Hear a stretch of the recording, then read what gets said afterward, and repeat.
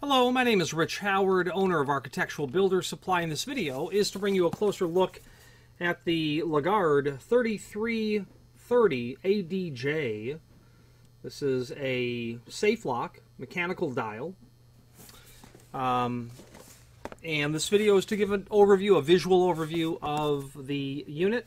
We'll give a cursory overview to the installation instructions. I am not while being a certified registered locksmith, my concentration is not with safes and vaults, although, of course, I understand the operating principle of these locks enough to be able to give you certainly a visual review um, of the unit. I can't change the combination because I don't have a change key. Uh, a change key, which we'll get to in the installation instructions, permits you to be able to rotate without engaging the locking plates. I forget the technical term. So here, let's do a visual review. Okay, here's our dial. Our die-cast zinc dial would be my guess. That'll make it heavy. Uh, this is not light. This uh, lock weighs, well, we'll weigh it. Okay.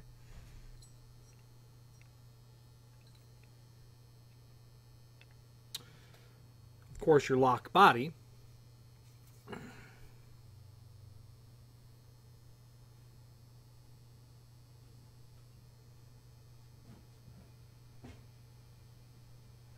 Combination lock group 2.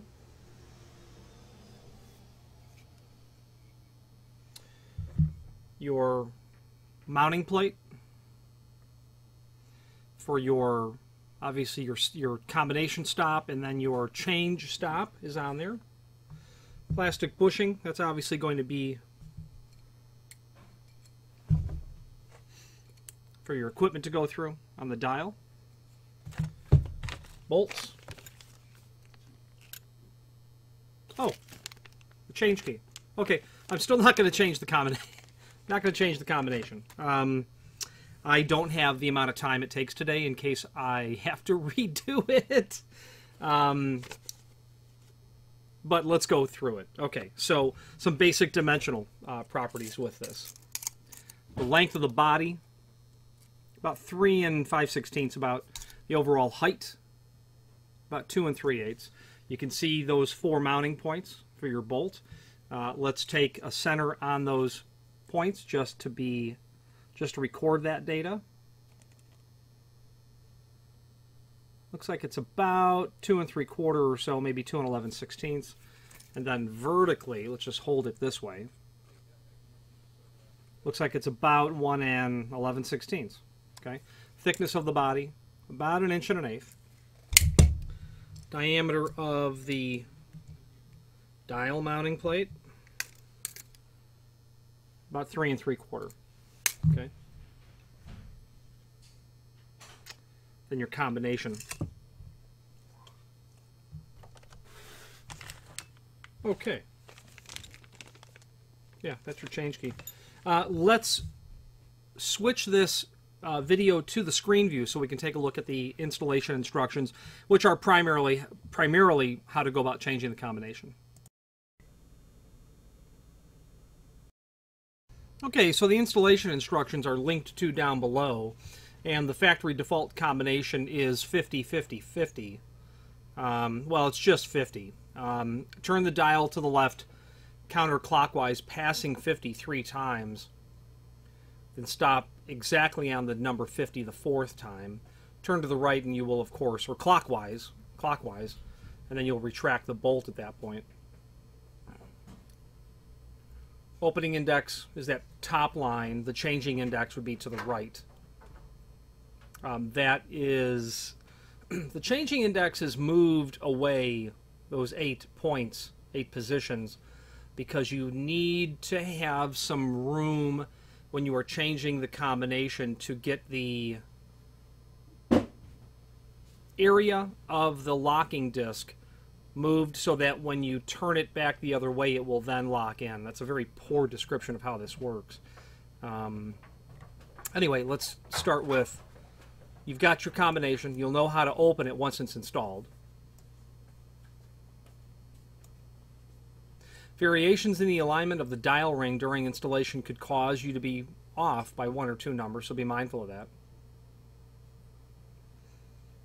When dialing a combination, if you pass the number on which you intended to stop, you have to start all over again, whether, you know, any dial combination.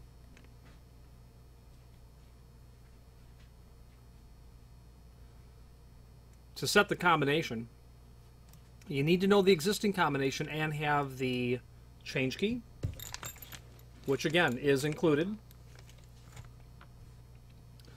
Um, there is what is called in the industry a forbidden zone, and that is when selecting a combination, choose a three number sequence between 0 and 99. Never select numbers 0 to 20 as the last number of the com com uh, combination. This is the forbidden zone and can cause the lock to malfunction.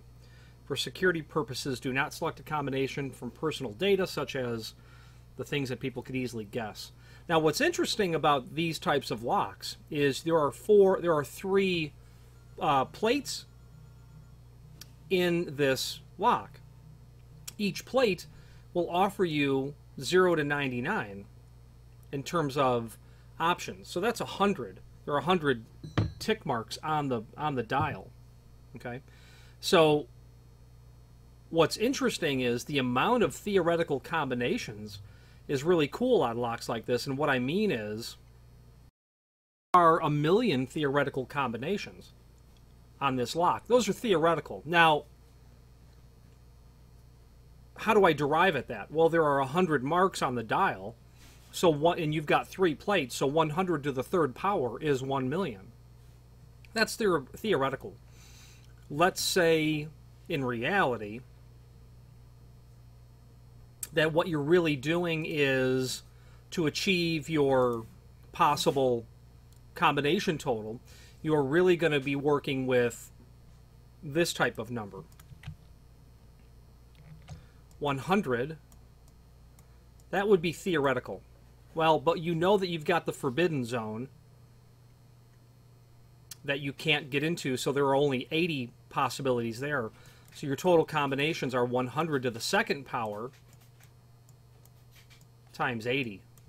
So 100 to the second power, 100 times 100 times 80, you're going to be able to come up with um, 800,000 combinations, theoretical. Um, I don't, I can't speak expertly enough to know how much of that variation you would lose. You know, if you were to take, you know, 98% of that number, if that math works, you know, you're still going to have 784,000 possible combinations.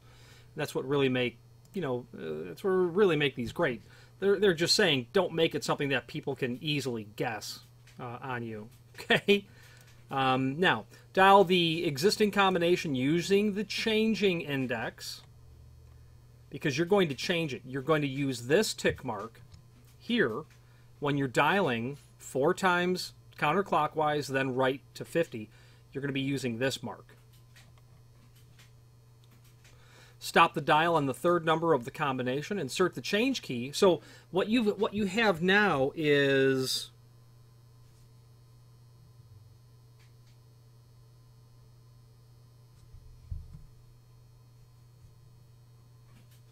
Okay, what you have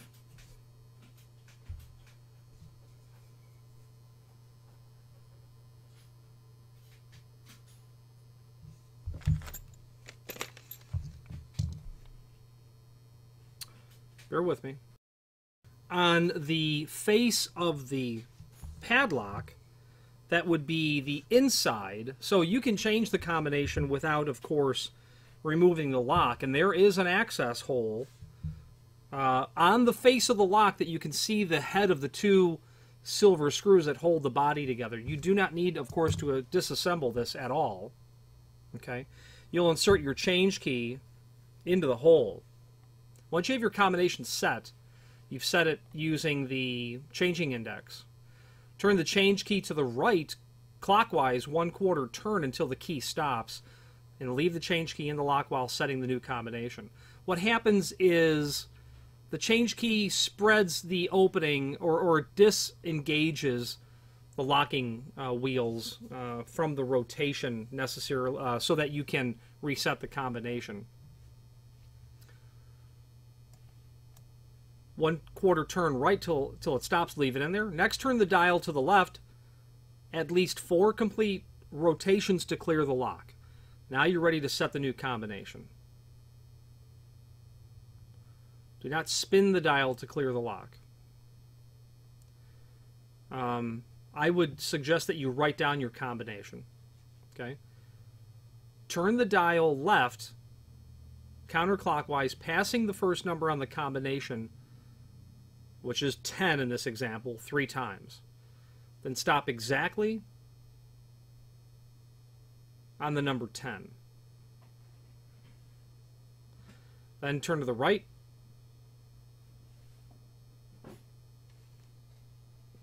Uh, turn the dial clockwise, passing the next number in the combination twice. Then stop exactly on the number 20 the third time. And then go counterclockwise, pass your 30 one time, then stop exactly on the second time when you land on it the second time. The reason you have to um, rotate it in this fashion is because these plates that are inside, there are three of them in this lock. And if my memory serves me, you know, you've got your post driving through here. Well, on these wheels, there are little stops that are attached to them. They, for all intents purposes, they kind of look like that. And as you're turning your dial, you have to rotate the wheel far enough, three times in fact, before you can start to affect the position of the other wheels. So you are, as you're setting one wheel, and I forgive me, but I forget if the outer or the inner, the closest or the furthest from the door moves first. But you have to rotate it so many times because you need to then set your next wheel in perfect, proper alignment as you rotate in the opposite direction. Okay, uh, that's a very poor example of why you rotate it four, then three, then two. Um, there is a there is a great it there is a beyond great source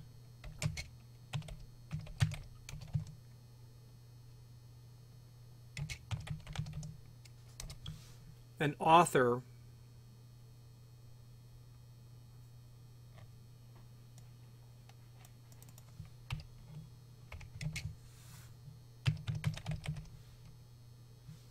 see if I can find them. Is Marc Weber Tobias, and he has, and I've written and I've read both volumes, uh, almost all of it, locks, safes, and security. It is the premier document, I think. At least it it would be for me, for a forensic review of how many locks work. Uh, not only um, not only padlocks, but he touches on everything. Um, a a irreplaceable comprehend. It's it's a encyclopedia, and in its own. There are two volumes to this. So if you if you wanted to, everything that I know came out of this book. I just it's been a year since I read it, so I've forgotten some of the tech, some of the actual terms. Okay, so now open the lock with the new combination. Same methodology to the left. Three times stop on the fourth, etc. And at that point, you're done. Um, just go through the steps of setting it carefully and follow the instructions. And I would probably read them a couple of times if you've never done it. But to a locksmith, this is easy, and there would be no need to really read the installation instructions if you work on safes and vaults often enough. Um, and you know, if what you need to do is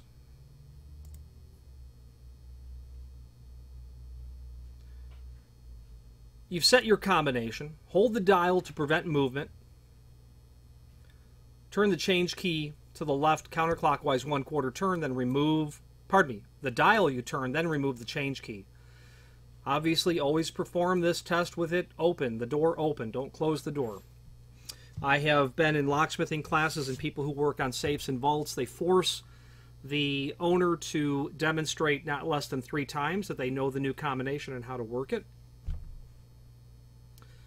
um, then open with the new com with the with the uh, modified combination. So obviously, whoever is going to be getting these locks on this order, and there are two of them, they are going to a locksmith supply house. Uh, they will certainly be changing the combination when they get this material uh, in their hands and then installed, obviously. And you'll want to, of course, do this while you're installed on the door, because otherwise, um, you won't really have a solid way of being able to change any of this or test any of it, really. Let's finish up this video on camera. And I hope that you'll forgive my flaky memory on the names of the particular parts, but safes and vaults will not be an area of concentration that I uh, expect to move into at any point. This video is really to serve as visual and dimensional evidence of the item. This is where your change key goes, okay? And that can really only go in one way. It's going to be the small end will go in to the unit. It has a flattened end there, and that will match the profile that you see here as well, okay? No reason to take this off. If you're curious, you can definitely take it off and, and look and see how this works. Um, I don't believe there'd be any trouble with that, but you know, if you really want to know how they work, the way that I was first introduced to say safe combination uh, dials and whatnot, the cover was off, and we were doing, you know, so you can really see the wheels how they turn, and when you turn the change key, you can see what change that makes on the inside of the lock, allowing things to move without being directly engaged, and also the uh, stops that are on the combination wheels or the wheel pack well, you got to turn it four times in order to get the one wheel moved far enough so that it can then make the second wheel move to the point where it can make the third wheel move. Okay, and that's why you have to do that. And when you go back the opposite direction one last time, that means you're not going to change. I believe what you're doing is the the wheel closest to the door itself is what's being changed um, last. Uh, so what when you're setting the combination, the first number that you set, it's actually the last wheel that gets moved, I think is how that works. Or the last wheel that begins rev revolving uh, in the entire process of turning it so many times. Okay, anyway, um, I will be happy to entertain any sort of a deep dive question on this material, uh, should one come up um, for you. Uh, I don't have, I probably won't have one of these units around available um, to work with, but I can tell you, having wor- having successfully changed combinations in the past, um, it's it's elementary. But like everything in locksmithing, um, it you really do benefit from. Yeah, the screws come off. Look at the cover. Understand how it all works. And I would, and that Marc Weber Tobias reference is an uh, an investment. It's an expensive set of books. When you when you read um, when you get into those books and you realize the depth at which he's able to go, no other author uh, has ever presented a work that I've ever seen to that level in such an overall sense. He has an entire chapter on the science and uh, of drilling safe doors, the metallurgy, the rotation speeds, formulas by which to derive all of this material. What are you drilling into? What are you drilling into it with? How quickly are you doing it? What's your what's your RPM? What is your rate of travel? And in order, uh, that book was very helpful um, in studying for the CRL mandatory exam because I was able to learn many things about other locks that I don't bump into. But I very much benefited by a lot of the forensic information that was in there regarding the appreciation. If you're going to drill a safe, if you're going to recover a combination for a client and you need to drill a hole in a door, um, understanding the science behind how that happens and how to best suit your or position yourself for success, I can't see that document being anything other than irreplaceable. Finally, there's a link below this video to the manufacturer's page where you can pull up not only all of the LaGard products that we sell, but also a link to the manufacturer's website, as well as a link to the full product catalog. Any questions on the LaGard 3330 ADJ uh, mechanical dial lock or any other LaGard product, please feel free to reach out to us. And thank you.